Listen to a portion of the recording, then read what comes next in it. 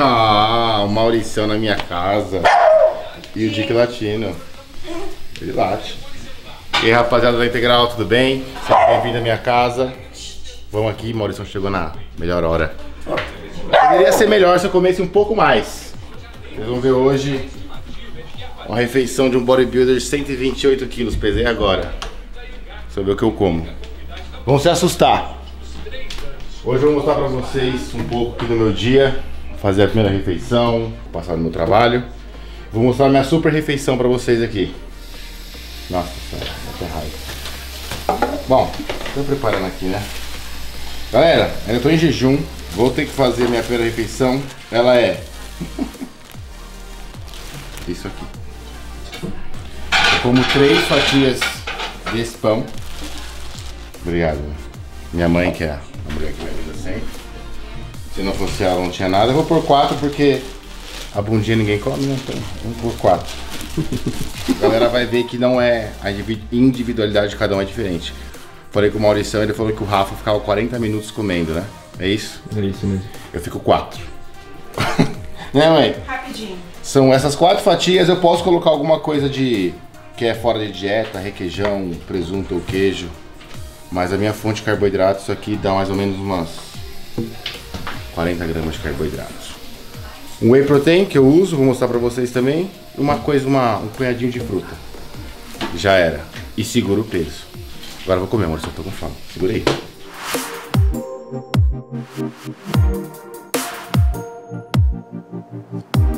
É, pessoal, isso aqui é fácil. Isso aqui é uma, é uma, eu vou dizer que eu voltei um pouco a dieta, porque eu ia competir agora em, em maio, né? Então já tava bem apertada, apertada mesmo já.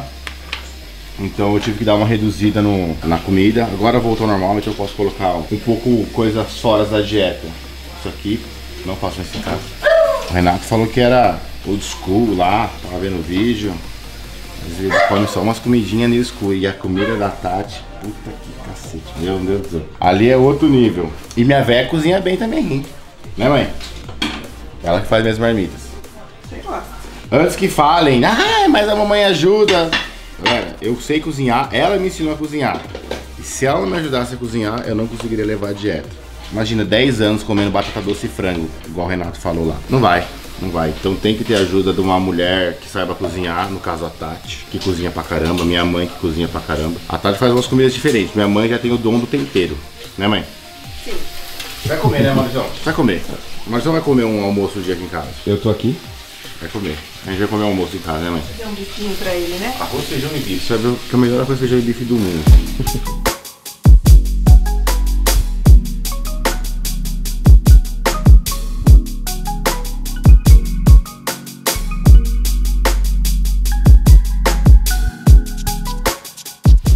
Eu comia pão francês também, só que eu sentia que tava liberado, só que eu sentia que não tava me fazendo bem. Farinha, sal, fermento, não tava me fazendo esteticamente falando. Então, eu optei por esse pão integral aqui, que ele é bem. A tabela dele é muito boa. Se fosse pão ruim, a gente comeria, porque é pão. Eu sou viciado em pão. Vou falar, eu sou viciado em pão. Quando eu sento pra comer, quando eu tô em off, uns 12. né? No café da manhã. Vai uns 12. 12 pães, um, Um- um pote de re- requeijão e umas 300 gramas de frios. Não, eu como. Quando eu, tô- quando eu posso comer, eu como. Ah, e também suco de laranja, às vezes um litro de suco de laranja. Numa refeição. Numa refeição, no café da manhã. Fácil. Vai fácil, desce fácil. Eu até tava com. Mas isso, o pessoal que viu lá, me causou uma certa dilatação na barriga. Então isso eu fui controlando, comendo pouco, comendo apenas o suficiente. Que é fora de dieta que a gente se fode, né? A gente começa a abrir o cardápio pra ter que ver e acaba se perdendo. Agora eu tô focadão em comer pouco, não tem jeito. Não é, não é, não é encenação não, eu como, sempre come pouco, sempre tive que comer pouco. O Rafael já comeu muito, muito, muito. Hoje não. Hoje ele come bem pouco. Come igual biquíni. Acho que deve ter umas biquínis, umas womas lá que querem comer mais que eu. Tem que secar. Tem que sofrer. Queria eu comer igual o Rafa, um quilo de comida. E eu como fácil. O Rafa eu sei que demora pra comer, mas eu como, vixe, um quilo de macarrão, 20 minutos. Ó, ó. Nossa senhora. Cara, valoriza o pão- o pãozinho de manhã. Famoso pão com. famoso mistão. Hum. Oi. Oi, oi, oi. Hum. Sai. Cadê? Comer uma banana. Uma banana. Tem uma maçã. Isso é pesado. Fruta é pesada. Opa, opa. Paralelo, fazendo as marmitas. Só um dia. Um dia. Proteína a gente manda bem, na proteína a gente manda bem. Tira a pancinha.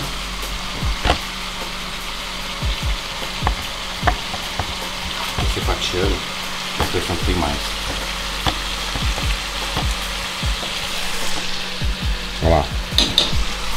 Meu cachorro.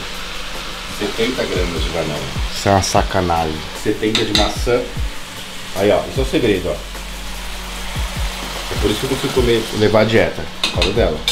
Ela vai naquela parada lá, compra aquelas paradas tudo natural. Senão, senão eu ia comer assim, ó.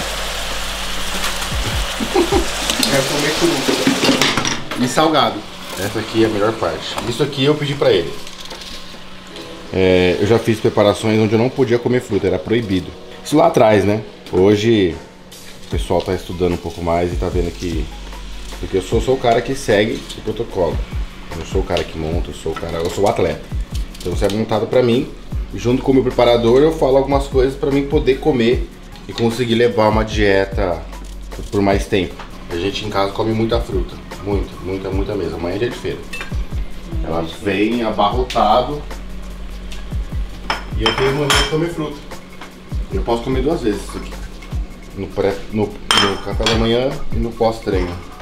Tá sentindo, tá sentindo drama, né, Maurício? Tira, tá bom. É gostoso, né? Ah, aí, mãe. Não tem que reclamar, tem que seguir. Isso salva. Hum. Saída um pouco do chocolate é, baunilha de morango. Pegar uma proteína de maracujá que nunca tinha tomado. Sensacional.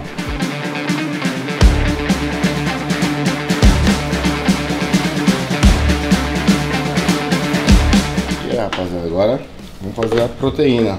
Isso aqui é glutamina, o abuso. Não conhece, gente já pega de um quilo. Minha mãe também toma. Eu jogo 10 graminhas. O abuso várias vezes, né? E esse aqui.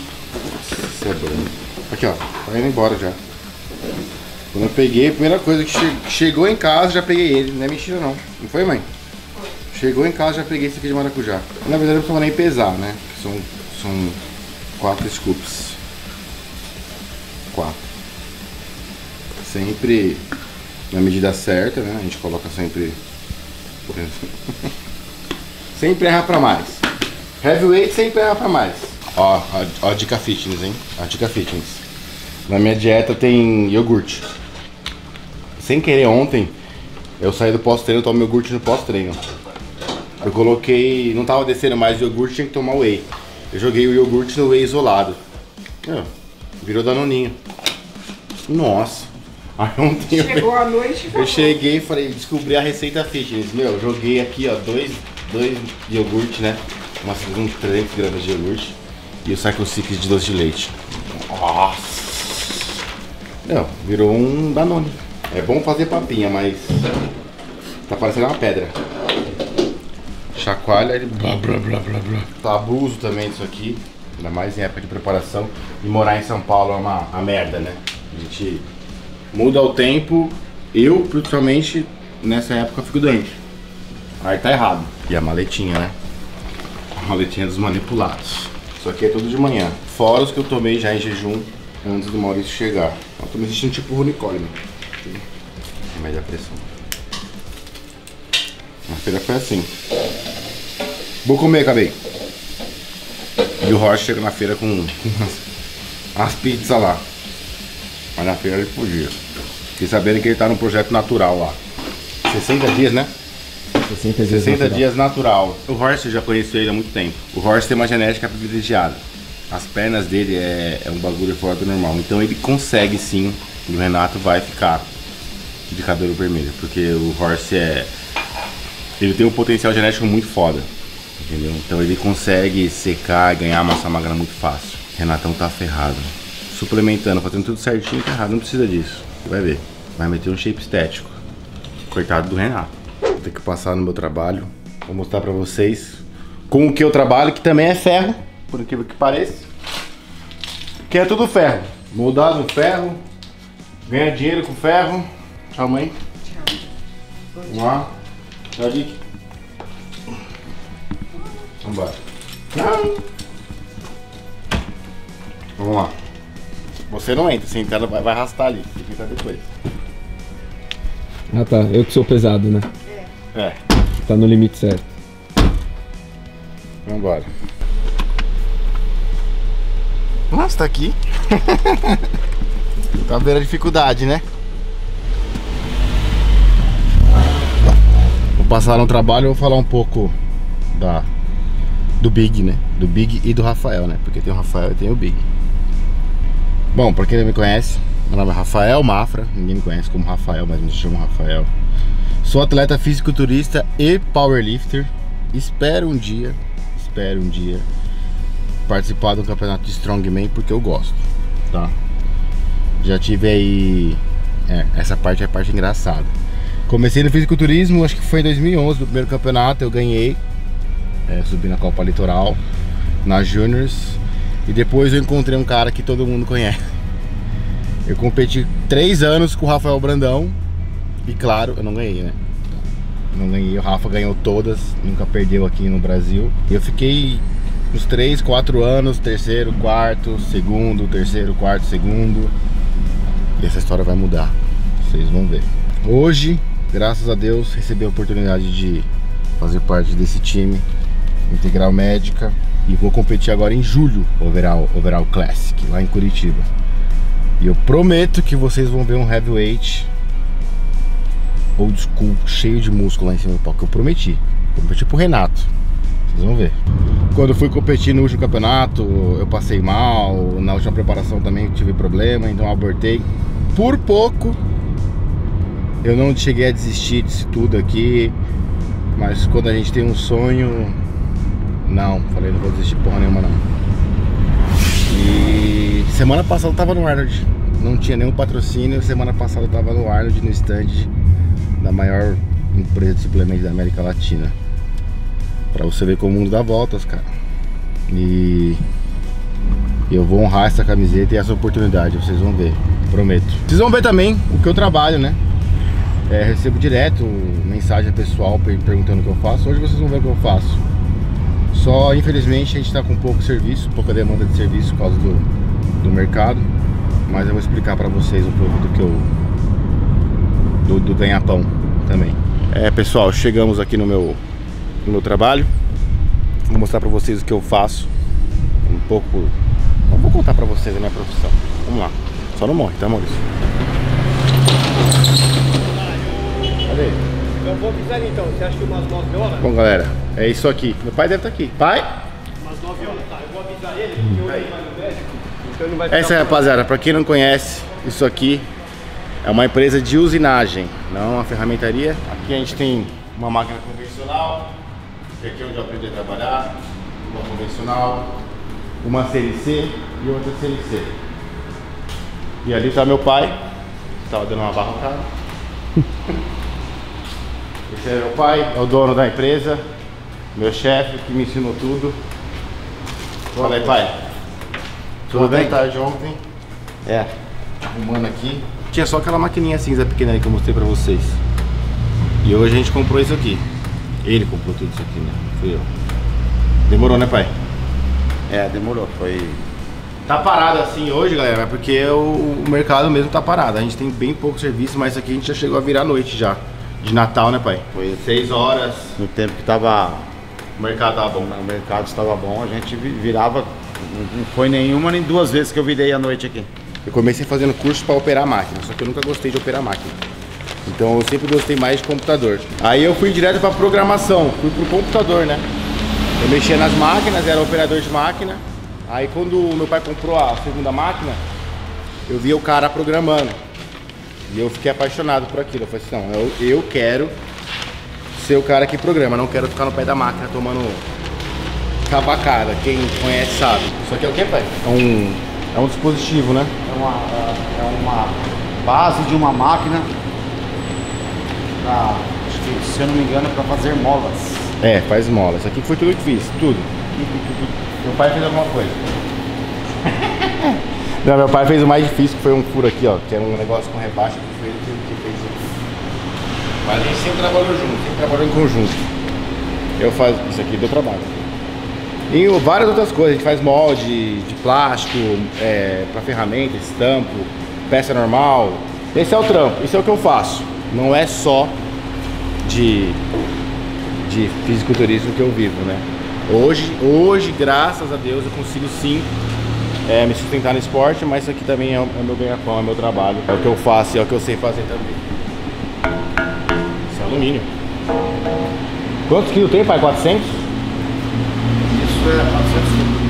Essa base tem Eu fiz rosca direta. Com ela. Você já fez equipamento de academia? Aqui, ó. Ó, que é old school, ó. Foi o que fiz. Na verdade, eu mandei fazer, né? Isso aqui é um. Quem vai saber, ó. É uma parede de antebraço, ó. Pode ser feito com cabo de vassoura, com, com um pedaço de toco. Mas como nós é ferramenteiro, eu fiz de alumínio. Aí você coloca uma cordinha aqui, ó. E um peso. Fica enrolando, ó.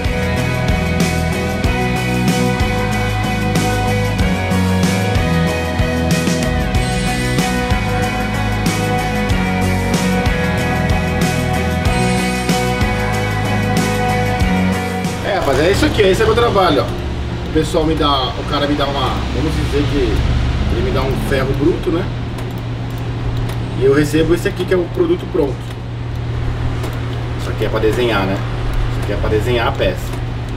Eu sei desenhar um pouco, mas não me arrisco. Então a gente é melhor fazer o que, a gente sabe. Então meu trabalho é esse. Eu brinco ali, mas meu negócio é isso aqui, ó. Só fazer isso aqui. É uma pena estar parado. Eu queria que tivesse com bastante trabalho, igual teve no, no ano passado. No ano passado também foi ruim.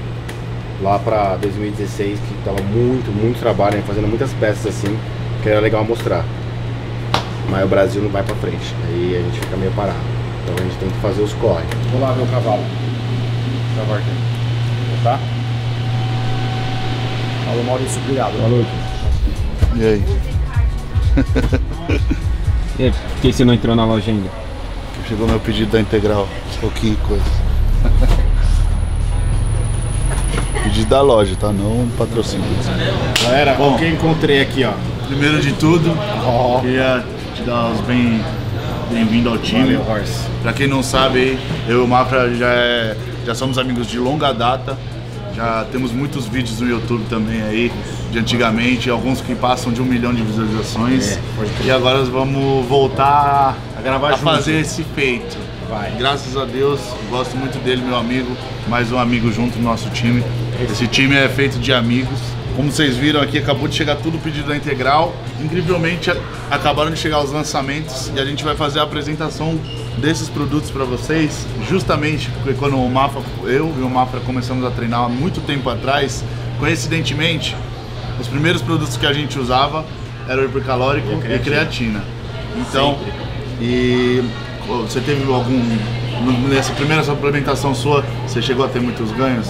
Cara, por incrível que pareça, eu cheguei até a achar estranho. Eu falei pro personal lá, o personal, o professor na época, eu comecei a tomar hipercalórico, eu ganhei 5 quilos em um mês, né? Em um mês. Eu era só o cavaco, né? Eu sempre fui A magro. gente tem uma genética muito boa para desenvolver massa muscular. Nossa, e eu acho que acho que no meu primeiro ano e meio de treino, eu não tinha grana para fazer uma suplementação, eu tomava hipercalórico, que na época era um hipercalórico muito ruim, e creatina. Em um ano e meio de treino, eu saí de 60 e fui para 80 quilos. Na época, não sei na sua, já era proibida, ainda era proibida a É, creatina. a creatina antigamente era proibida e até então os hipercalóricos eram feitos de leite em pó, açúcar, gordura ruim e não podia ter a creatina na fórmula. A integral médica já chega com Sumiu. Ah, trouxe mais uma coisa lá. Chegou mais uma novidade aqui. Meu pré-treino. Na loja de fitness chega primeiro que todo mundo. Vocês já viram esse daqui? Nova fórmula também que a Anvisa liberou. Você no pré-treino adicionar o BCA. Aqui já vem cafeína, taurina, arginina e os três tipos de, de aminoácido do BCA. E também uma quantidade de vitamina B6 que potencializa a absorção de aminoácidos. Então é animal. Completo. Logeminha, já, já, já torro tudo. Nem que eu tomo também. Final mesmo? Ela vai experimentar, né? Já experimentou não? Não. É novo, a gente chegou não. Você vai ver. E a, a taurina, ela potencializa muito. É de limão esse aqui. A taurina, pra quem não sabe, ela potencializa o foco mental. Então, pra muita coisa, ela te ajuda não só no treino. Às vezes, é um dia que você tá mais cansado, você tá com aquela preguiça de pensar nas coisas. Oh, olha eu fazendo cagada. A taurina, ela já te ajuda nisso daí também. Pode sujar tudo aqui, aqui limão no bagulho. É cheiroso mesmo. É cheiroso, né? E ele não fica dando aquela sensação de, de arroto. Ah, mano, é verdade. Tem, tem, tem uns que daqui você, já- você toma fica. Já o negócio aqui já. Chega, acabou. E acabou o pote. Mas eu- Deixa eu pegar a água. Chegou. Na pegada, né, Horst? Tô, Já agora eu botei, né? graças a Deus. Já botei um monte aqui que eu sei que o Mafra vai querer tomar, não quero ficar com pouco não. Botei logo 6, 7 scoop aqui, sem miséria. sem miséria. Nas Padrão, padrão. É, eu. É, mas olha assim, rapaz, sem miséria. antigas nós era tudo doido, ia tomar pré-treino era 15 scoop, tô nem aí. E não dormia. E não dormia à noite. Voltando à formulação do BCA, além da taurina que tem todo esse lance do foco mental, a cafeína vai potencializar seu metabolismo, a arginina vai condicionar uma vasodilatação e o lance da vitamina B6 potencializar a absorção de aminoácidos. Então, se você quiser incrementar ainda os nove aminoácidos essenciais, o EA9, antes do treino, seu corpo já vai ter uma oferta muito maior as quantidades de, de aminoácidos essenciais completas. É, é um produto realmente bem completo. O cara que tá natural aí, ó. Né, Horst? Eu gosto. Bom? Suco. Não tem aquele gosto de pré-treino azedo, né? Não, não tem, é bom. suco, é suco mesmo. Não, não ia treinar, Agora agora eu ponto legal. Eu tô aqui com meu amigo de longa data tomando um drink na mesma coqueteleira. Olha que legal. Vai levar o projeto mesmo. Vou. Não, eu já falei pra ele, a primeira coisa que eu vi. Ele já mudou já. Tá certo. Não, eu tava com. Agora meu peso já deu uma baixada, tô com 116. Na Páscoa dei uma ramelada, né? No domingo de Páscoa, normal, mas já tinha avisado pra vocês. Mas é, eu acho legal que você tem que mostrar que tá fazendo um trampo normal. Não é um negócio, ah, você tá seguindo um protocolo natural sem tanto extremismo. Eu falei pra ele lá em casa, eu falei que você já te conhece há muito tempo, que você tem um potencial genético do caralho. né? Você sabe disso. Não, você se prepara em dois meses. Você sobe a nível pro, vamos dizer. Quero, quero, se Deus quiser, eu quero fazer esse projetinho aí pra botar o Renato de cabelo vermelho, pra galera ver aí. E aí depois disso, estando zerado totalmente da lesão mesmo, começar de novo uma preparação, já mirar um campeonato e daquele jeito, já. Vai bravo. Vem tudo, Aí caralho. não para. Aí não para. Aí o bichão não vai. Tem que, ter, tem que dar um tempo. E, e quando você voltar com tudo, você sabe que vai ser melhor também, né? Bom, vocês viram aqui a quantidade de pré-treino que a gente tomou, né? Já deu pra ver qual que é a pegada. Eu garanto pra vocês, esse cara aqui. Fala só o peso que você. Seu recorde de agachamento cada lado. Cada lado. 100, 120, eu fiz ontem, com 120 cada hora. Tranquilo, 120 cada lado. Nem, ou a barra é especial, ela quebra. Então é o seguinte. Se vocês quiserem um treino aqui com esse monstro pesado, hoje vamos ficar só na vontade. Vamos ficar só na vontade, só na loucura do pré-treino. Só que é o seguinte, segue o Big lá no, no Instagram, dá as boas-vindas pra ele aqui no comentário e vai lá na última foto do Renatão, escreve vovô, pequena sereia. Hashtag vovô, pequena sereia, tá bom? Mais importante. Aí nós vamos botar esse mamute pra tremer a água aqui. É tudo nosso. Valeu, Horst. Tamo junto. Integrar o time, é nóis. O Horst colocou quantas doses naquela porra lá? Muitas. Maurição, falou aí. Eu vou, vou treinar. Você não vai me dar carona pra ir embora? Horst, vou treinar.